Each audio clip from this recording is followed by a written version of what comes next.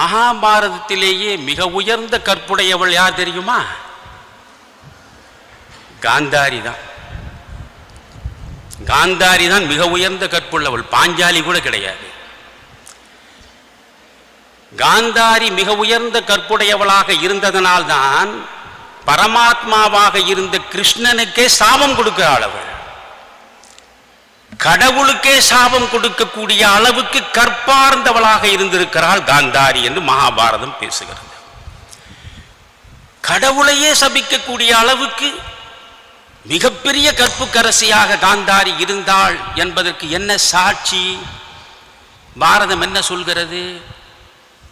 அவளுடைய கணவன் திருதராஷ்டிரன் பிறவியிலேயே பார்வையற்றவன். அவன்தான் அரசாட்சி நடத்துகிறான் அரியாசனத்தில் அமர்ந்து. அவனுக்கு இவள் மனைவியானாள் மனைவியான அடுத்த கணமே இவள் யோசிக்கிறாள். தன் கணவனால் பார்க்க முடியாத உலகத்தை தானும் பார்க்கலாகாது என்று ஒரு பட்டு துணியாலே அவள் கண்களை மூடிக்கொண்டு காலம் முழுவதும் இருந்தாள். நன்றாக யோசியுங்கள். கணவன் பிறவியிலேயே பார்வையில்லாதவன் பிறவியிலேயே பார்வையில்லாத அந்த கணவன் தன் கரம் பற்றிய காரணத்தால் பார்வை சரியாக இருந்தும் தன் விழிகளை ஒரு பட்டு துணியாலே மறைத்துக் கொள்கிறாள் காந்தாரி. அவளைப் போல் கற்புள்ளவள் யாரும் இல்லை என்று பாரதம் பேசுகிறது. நான் கேட்கிறேன். காந்தாரி இந்த பார்வையற்றவனை திருமணம் செய்து கொள்கிறாள். அரசனுக்கு மனைவி என்றால் அவள் அரசி பட்ட மகிழ்ச்சி. இந்த காந்தாரி என்ன செய்திருக்க வேண்டும்? திருதராஷ்டிரா தண்ணீர் கொண்டு திருதராஷ்டிரா நான் சொல்வதை கொஞ்சம் கேள். மன்னாலும் மன்னனாக நீ இந்த அரியாசனத்தில் அமர்ந்திருக்கிறாய். உன்னால் யாரையும் பார்க்க முடியாது. நான் ஒன்று சொல்கிறேன். உனக்கு- உன் ஆசனத்துக்கு பக்கத்தில் எனக்கு ஒரு ஆசனம் போடு. நான் அமர்ந்து கொள்கிறேன். நீ பார்க்க முடியாத உலகத்தை நான் பார்க்கிறேன். என்னென்ன செய்ய வேண்டும் என்று நீ சொல்கிறாயோ அவை அனைத்தையும் உன்னுடைய பிரதிநிதியாக இருந்து நான் செய்கிறேன் என்று காந்தாரி சொன்னால் குறைந்து விடுமா? யோசியுங்கள். அவனுக்கு பார்வை இல்லை என்பதற்காகவே பட்டு துணியால் இவள் பார்வையை மறைத்து கொண்டால்தான் இவள் கற்புக்கரசியா? இதை எழுதியது யார்? வியாசன் என்கிற ஒரு ஆண்மகன். எனவே இந்த மண்ணில் இருக்கக்கூடிய புராணமானாலும் இதிகாசமானாலும் சட்டமானாலும் மதமானாலும் எதுவானாலும் அனைத்தும் ஆண் மக்களாலே தான் உருவாக்கப்பட்டன. அந்த ஆண் மக்கள் தங்களுக்கு நிகராக பெண்ணை நினைந்து பார்க்க தயாராக இல்லை. இப்படி இருந்த இந்த உலகத்தில் தான் பாரதி கண்விழிக்கிறான் பேனா எடுக்கிறான் உங்களுக்காக அவன் எழுதுகிறான்.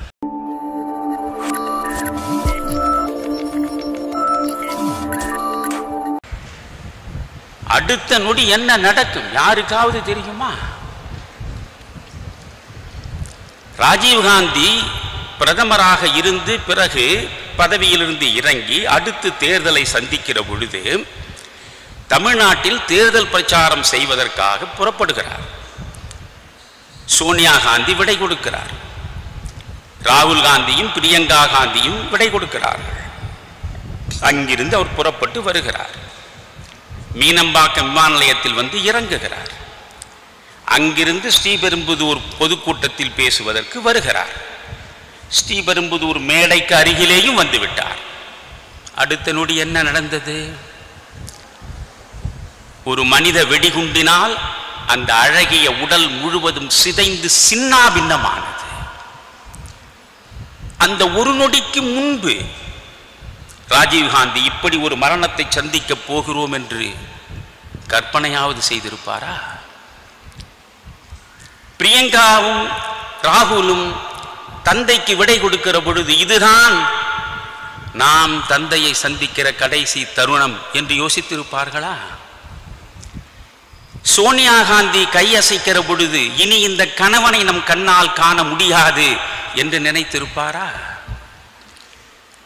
அடுத்த நொடி என்பது நம் கையில் இல்லை. எதுவும் நடக்கும். Anything may happen at any time அதனால்தான் புத்தனுடைய வாதத்திற்கு பெயர் க்ஷணிகவாதம்.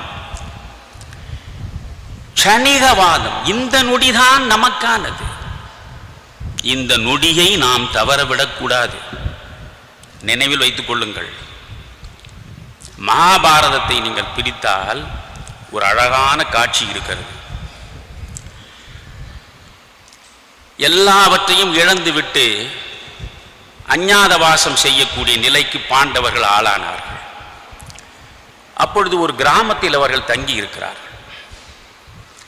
தருமன் அந்த வீட்டினுடைய வாசலில் உட்கார்ந்து கொண்டிருக்கிறான். அந்த நேரம் ஒரு பிச்சைக்காரன் தருமனை பார்த்தான்.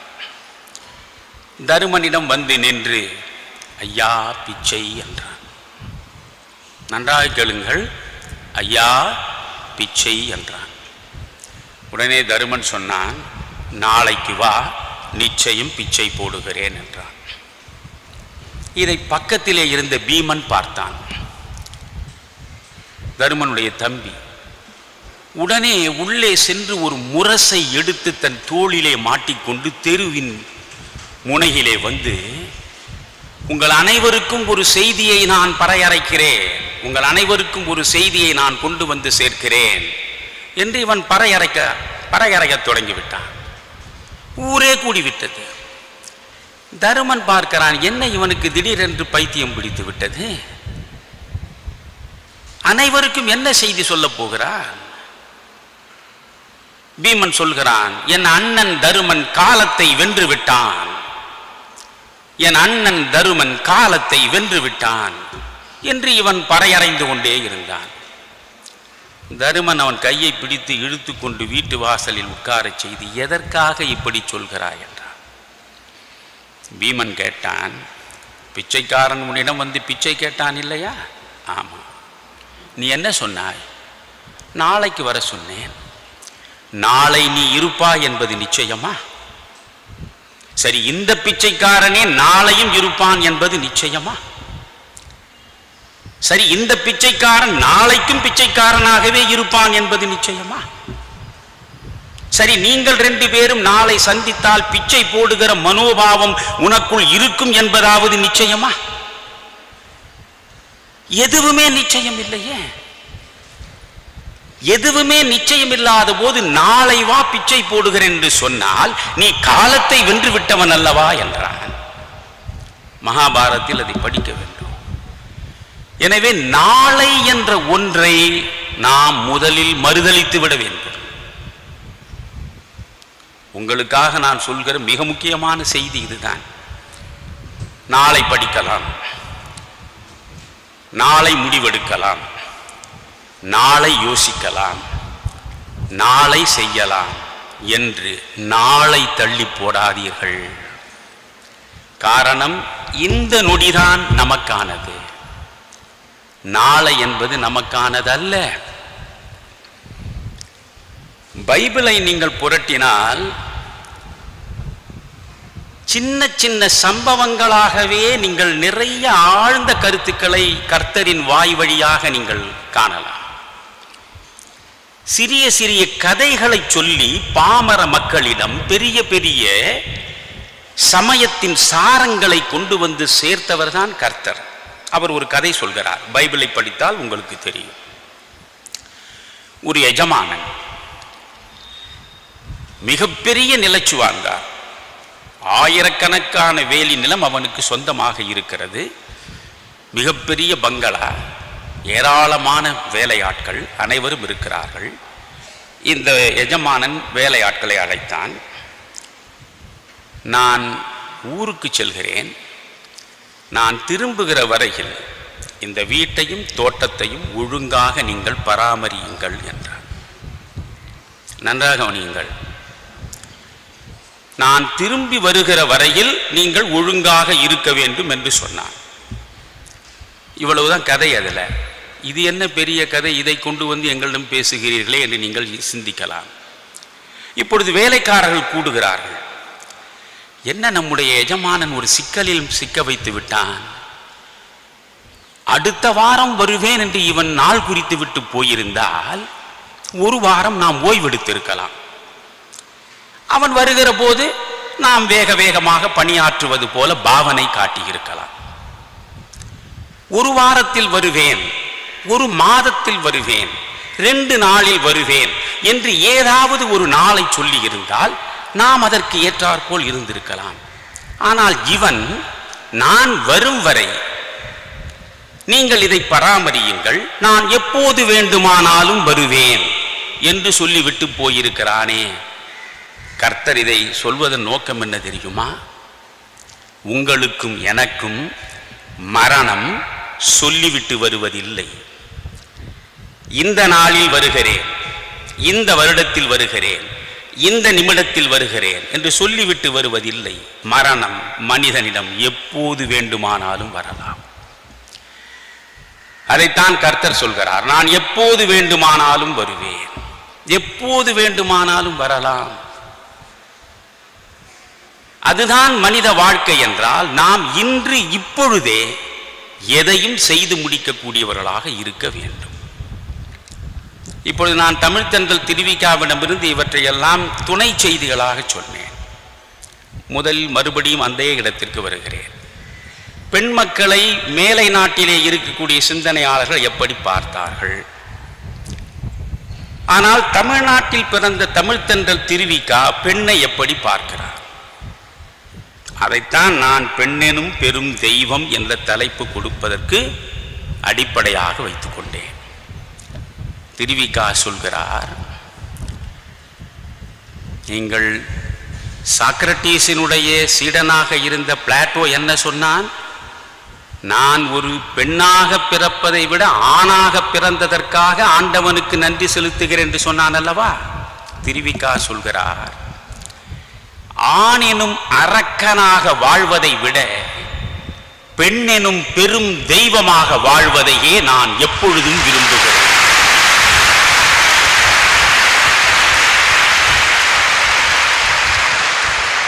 ஆண் எனும் அரக்கனாக வாழ்வதை விட பெண் எனும் பெரும் தெய்வமாக வாழ்வதையே நான் எப்பொழுதும் விரும்புவேன்.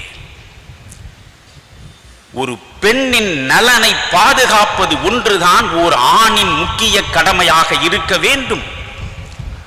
சொல்லிவிட்டு திருவிக்கா சொல்கிறார் பெண் என்ற பெருந்தெய்வம் இந்த மண்ணில் இல்லை என்றால் உலகேது? உயிரேது? அன்பேது? கடவுள் ஏது?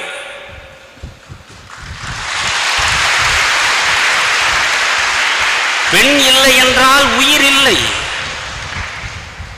பெண் இல்லை என்றால் உறவில்லை. பெண் இல்லை என்றால் அன்பில்லை. பெண் இல்லை என்றால் கடவுளே இல்லை.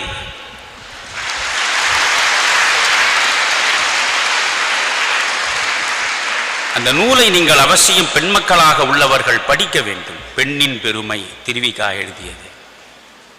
அதில் அழகாக சொல்லுவார் அரும்பி மலர்ந்து கனிவதுதான் வாழ்வு. ஓர் ஆணுக்கு வாய்க்காத வரம் ஒரு பெண்ணுக்கு வாய்த்திருக்கிறது. என்ன தெரியுமா? ஒரு பெண் அரும்பி மலர்ந்து கனிகிறாள் வாழ்வில் மூன்று நிலைகள் இருக்கின்றன ஒரு பெண்ணுக்கு. முதலில் அவள் அவள் கன்னியாக இருக்கிறாள். கன்னியாக இருந்தவள் ஒருவனுடைய கரம் பற்றிய பிறகு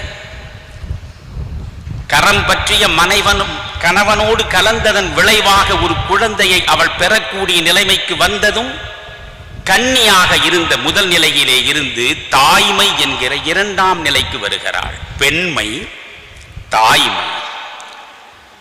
தாய்மை உற்று ஒரு குழந்தையை பெற்றெடுத்த நிலையிலேயே இறைமை என்கிற கடவுள் நிலைக்கு ஒரு பெண் சென்று சேர்ந்து விடுகிறாள்.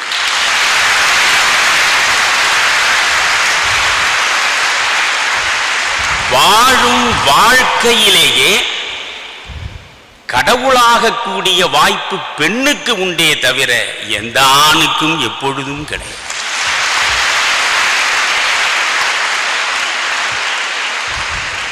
அதனாலேதான் மேலை நாடுகள் பெண்ணை அடிமைப்படுத்தின ஆணாதிக்க சிந்தனையோடு பார்த்தன. கிறித்துவ சமய மரபுப்படி முதலில் பிறந்தவன் ஆகாம் அடுத்து வந்தவள்தான் ஏவாள். எனவே முதலில் வந்த ஆதாம் ஆள்பவன் அடுத்து வந்த ஏதாம் ஆளப்படுபவள் என்றுதான் அந்த சமயம் பார்த்தது. ஆனால் இந்த மண்ணை பொறுத்தவரையில் பெண்தான் பெரும் தெய்வம். இங்கேதான் பாரதியிடம் நான் வருகிறேன். பாரதியைப் போல் உங்களுக்காக பேசியவன் உலகத்தில் வேறு எவனாவது உண்டா? கிடையவே கிடையாது. ஒரு பெண்ணின் பரிபூரண விடுதலையை தேடித் தருவது அவள் அடையக்கூடிய கல்வி மட்டும்தான் என்று நூறு ஆண்டுகளுக்கு முன்னாலேயே சொன்னவன் பாரதி.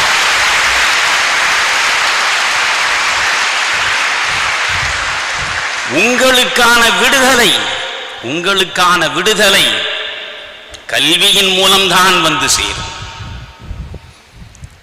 ஏனென்றால் ஓர் ஆயிரம் விலங்குகள் உங்களை பூட்டி அழகு பார்க்கின்றன. மறந்து விடாதீர்கள். கொஞ்சம் ஒரு ஓரமாக உட்கார்ந்து சிந்தியுங்கள். உலகம் முழுவதும் நூத்தி தொண்ணூறு நாடுகள் இருக்கின்றன. இந்த நூத்தி தொண்ணூறு நாடுகளில் எந்த நாட்டிலாவது ஒரு மதத்தை ஒரு பெண் படைத்தாள் என்று நீங்கள் சொல்ல முடியுமா?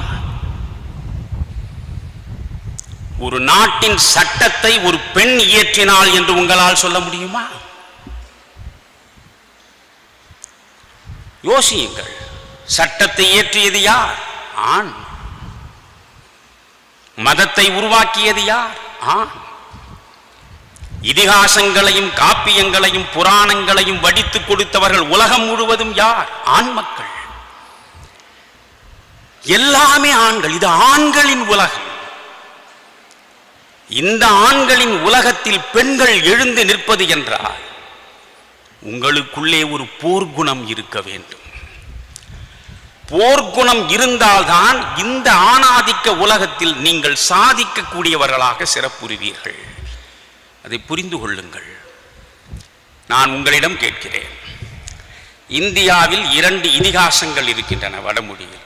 ஒன்று ராமாயணம் இன்னொன்று மகாபாரதம். உங்களுக்கே தெரியும். இந்த ராமாயணத்தை நீங்கள் எடுத்துக்கொண்டால் சீதைக்கு அக்னி பிரவேசம் வைத்தவன் யார்? ராமன் தானே.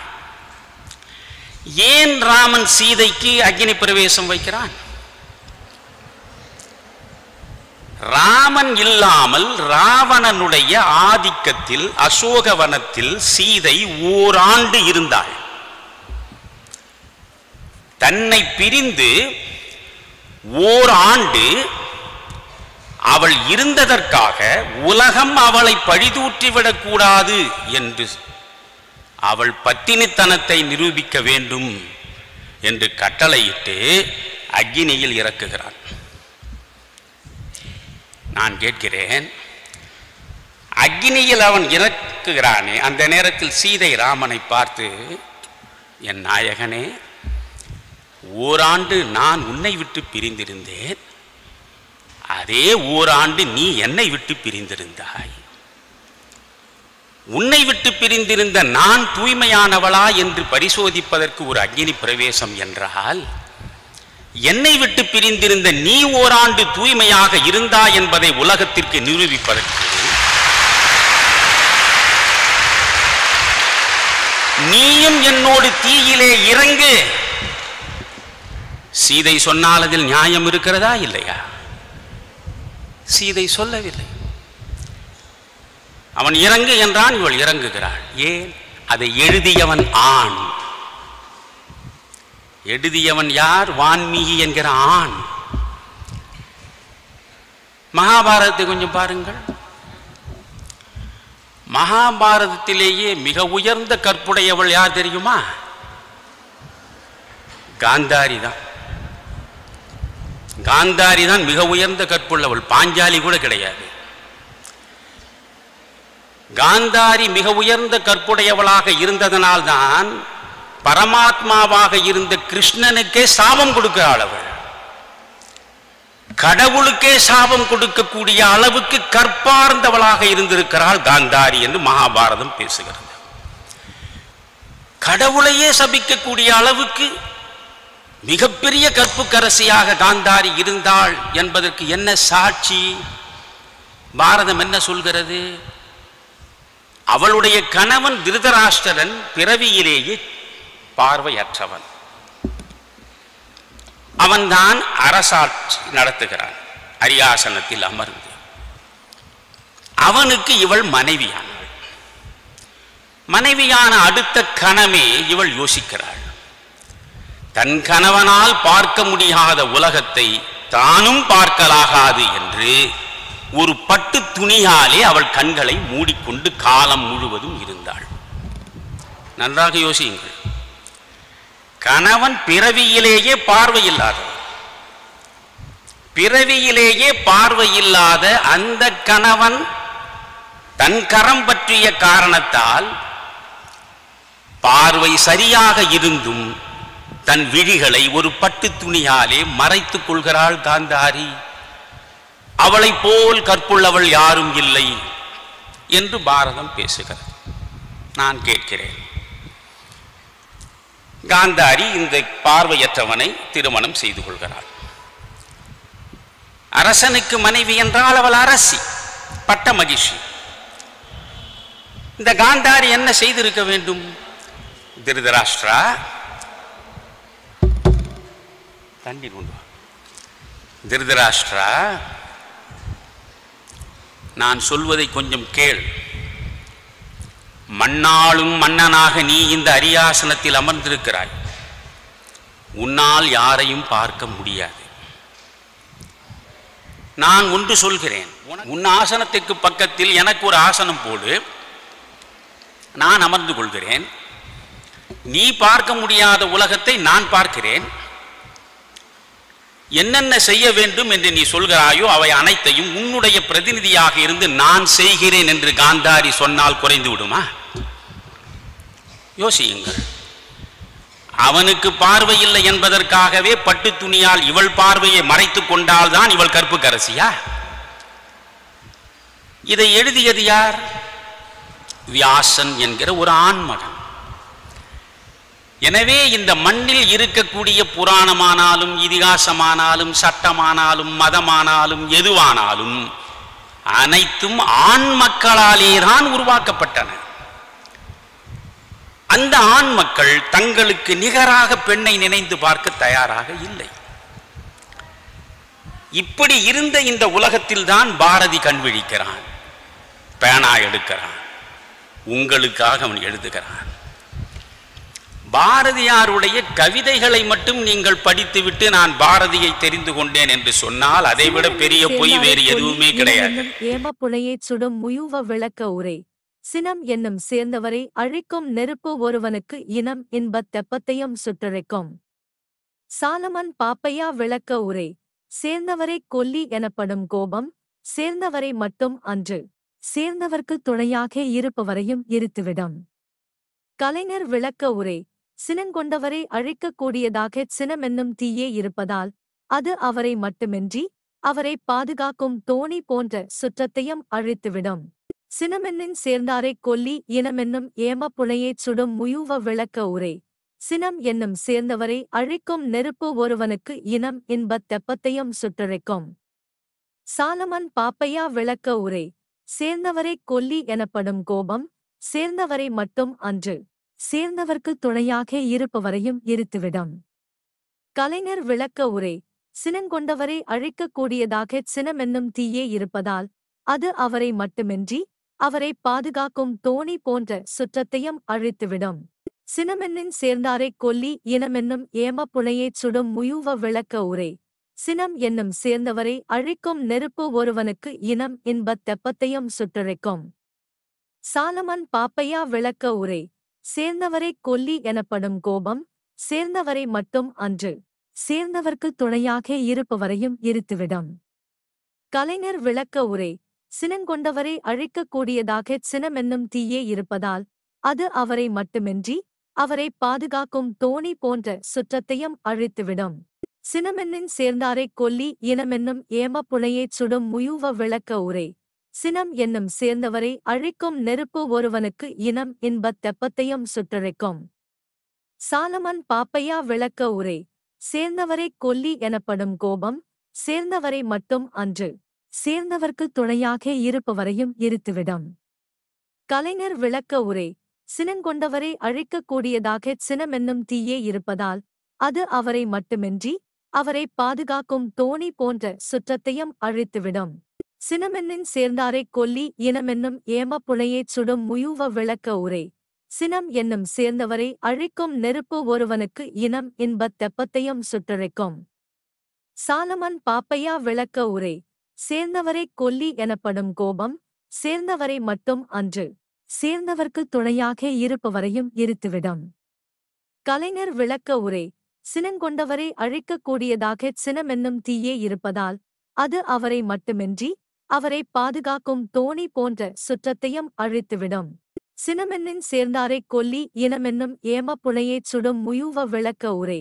சினம் என்னும் சேர்ந்தவரை அழிக்கும் நெருப்பு ஒருவனுக்கு இனம் இன்பத் தெப்பத்தையும் சுட்டழிக்கும் சாலமன் பாப்பையா விளக்க உரை. சேர்ந்தவரை கொல்லி எனப்படும் கோபம் சேர்ந்தவரை மட்டும் அன்று. சேர்ந்தவர்க்கு துணையாக இருப்பவரையும் இருத்துவிடும். கலைஞர் விளக்க உரை. சினங்கொண்டவரை அழிக்கக்கூடியதாக சினமென்னும் தீயே இருப்பதால் அது அவரை மட்டுமின்றி அவரை பாதுகாக்கும் தோணி போன்ற சுற்றத்தையும் அழித்துவிடும்.